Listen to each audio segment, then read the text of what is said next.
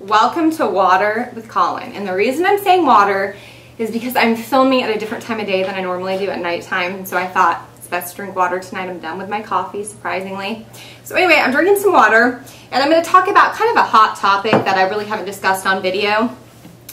But before doing so, I feel like I need to just like get something out there because I hate like I feel like you guys are going to be watching this and you're going to be like, what's on her face? Why isn't she telling us about it? So anyways, when I get stressed out, and you know, lately I think with the hip to help torn, just we've been real busy on Hip2Save and whatnot, and also kind of the issues this weekend that happened. That's what I'm going to talk about in a sec. That's kind of the hot topic. I just have been feeling a little bit stressed out, and whenever I get stressed out, I get a cold sore. And it's really annoying because it's not a typical cold sore. It is Okay, so it's like, it's not inside my mouth, it's on my lip. Last time I got one, it was like on the side of my lip, which wasn't so bad. This time it is smack dab in the middle of my lip. And the reason I'm saying this, because for all you out, all you people out there that get cold sores, I just want to say it's okay because I get them too. I'm trying to make everyone that gets cold sores feel better because if you've had one before, you know my pain. It's so like, it's just the worst place to have it, your lip. When people look at you, they're like, ew, what's on your lips? When I got my cold sore a couple months ago, I, you know, I feel the need to have everyone know that I have a cold sore on my lips so they know that I know. Because for some reason I think they don't know that I know that I have a cold sore. So I almost want to like put something on my head that says like I have a cold sore. So whenever we had the postal guys come to the door, my husband would run away because he'd be embarrassed because he knew what I was going to say. And it would be, before they even like gave me the package, I'd be like, listen, I know I have a cold sore on my lip. and they would look at me like, what? And I'm like, I know you know, and I know you see it, but I know too and they would be like, okay, here's your pack. If you have any advice for me on how to get rid of it quickly, because this is just the beginning, it gets worse. It like literally is, infects my whole lip. So what I have on hand here, I've, I've got some, this is stuff, and I'm probably going to pronounce it wrong, Liasin. I take this. This is supposed to help. I researched it. And of course, Abreva. And there's coupons for this, so I definitely use them when they are available. So the hot topic today is going to be about buy one get one free coupons and buy one get one free sales. Uh, with the, all these new couponers lately, I just feel like this with Extreme Couponing Show that this is a great topic to discuss. I know it's kind of a confusing topic and a lot of people have different opinions, which is totally fine, and there's kind of some gray area in there. So I'm going to kind of go over it all with you guys. Um, the first thing I'm just going to go over is a buy one get one free coupon. So buy one get one free coupons are awesome coupons. They can save you so much money. Basically, you are getting, you buy one item and you are getting an item free up to a certain value, and that value is listed on the coupon. So for example, I've got a degree coupon. It says up to $6 value. So that means you can't exceed that value. So let's say I was going into Walmart and the degree deodorants were two for $7. Or, I mean, I'm sorry. And the degree deodorants were $7 each. When I use this coupon at checkout, I'm just going to be able to get $6 off. So I'm still paying $1 for that free deodorant. And the cashier will input that price in this box. Most buy one get one free coupons have a box where they're going to need to input the price. Sometimes buy one get one free coupons will automatically deduct the correct price. It will the register will automatically do it. But for most part, most of the time they're going to have to put that in there. So you're going to want to keep that in mind what the prices are for the products you buy that are going to be that you're using buy one get one free coupons on so you can make sure you're not exceeding that max value. Okay, another cool thing about a buy one get one free coupon and you've seen that seen this a lot on my site is that when there's a buy one get one free sale at the store, you can actually use a buy one get one free coupon to get two items free. And for new couponers, I know that sounds, what? That doesn't make any sense. That probably sounds so confusing because how can you get two items free? Well, this is how it works. All right, giving you a little visual example here. So here's two degree deodorants. This is an example, so please remember that. Let's say they are on sale at some store. Buy one, get one free. So the store has a buy one, get one free sale. So you're getting one free because of the store sale. Well, then you go to checkout with these two deodorants and you give the cashier this a buy one get one free coupon. So even though you're getting one free from the store sale, according to the manufacturer, you're still buying two deodorants. So when this coupon's used, since you're buying one and getting one free, it's gonna make this one free.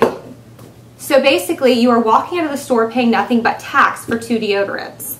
And the manufacturer is still happy because you're still following their coupon. The store's happy because this is like cash to the store.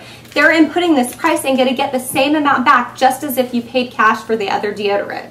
So I think explaining that and understanding that and understanding that is going to make you feel a lot more confident about using this coupon. So want to buy one get one free sale.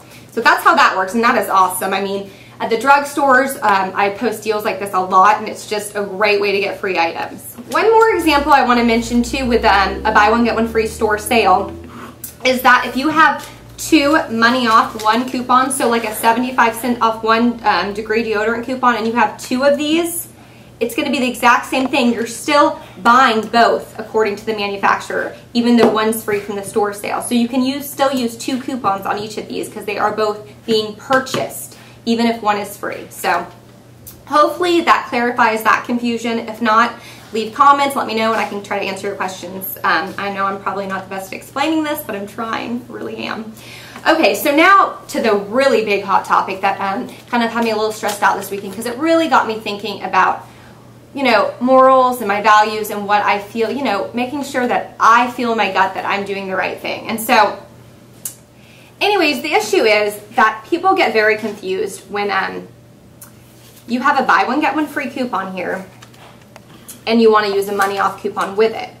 And the, the way people justify this, and the way I have as well, the way I've done this as well is I've said, if you're using a buy one, get one free coupon, this coupon is valid towards the free item. And then I say, well, so since this coupon is for the free item, then I guess on the when I'm buying, I could use another money off coupon. Well, the problem is that lots of manufacturers have coupons coded a certain way. So for instance, some buy one get one free coupons are going to be coded to attach to both items, the free item and the one you're purchasing to get the item free. Some manufacturer coupons are coded just to attach to the free one. So you could technically use another money off coupon. I have for the longest time posted um, different deals using a buy one get one and a money off coupon. And you know, a lot of people are able to do them, a lot of people aren't. And every time I post them, honestly, I do, and you know, actually, I'm gonna stop myself. I was reading one of the comments yesterday from a reader, and she said something that really hit home with me. She said, every time I see, I love Collin's blog, I love her deals, but every time I see her post one of these deal scenarios, I get this like feeling in my gut. I just don't like the way it feels when she's doing that. And it hit home with me because I realized, you know what, whenever I post those deals, I kind of sit and think and I'm like, I don't know if I really feel comfortable with those deal scenarios because, you know, yeah, I could justify saying, well, this one goes with the free one, this one goes with the other one, but still there's just a gray area and they're an uneasy feeling for me knowing that this may not work for all of you and it, you know, the manufacturer may not want the coupon to be used that way. And I could also sit here and go over how coupons are coded, but that's one thing I never want to do on my site. None of us should even know how to decode coupons. There's no point. You go by the wording on the coupon and then you go by what you feel is right. And that's really what you have to do. So I'm not going to tell you, oh, here's the coding if this is supposed to attach to two items and here's the coding if this is supposed to attach to one. I feel like if manufacturers or some manufacturers are coding coupons to attach to two, then I'm assuming probably most manufacturers don't want you using a buy one, get one, and a money off. And I know you're probably saying, well, Collin, you've been doing this forever, posting these deals. And you know what? I, I make mistakes all the time and I've just thought long and hard about this and I'm realizing more and more that is probably not right. And the reason I did used to do is because that's kind of how I was taught. I saw it on blogs when I was learning to coupon and I thought, wow, this is really cool. And it does save you more money on, in the deal scenarios. And of course, I want to save you guys as much money as possible, but I also want to do it ethically and you know, following my values and morals. And so I think I've just realized along the way that I'm not going to do it anymore.